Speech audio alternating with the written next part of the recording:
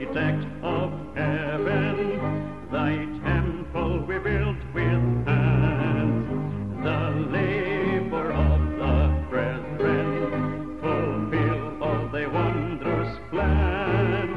O hail, grand lodge of masons, most worshipful in thy reign, For all the poor,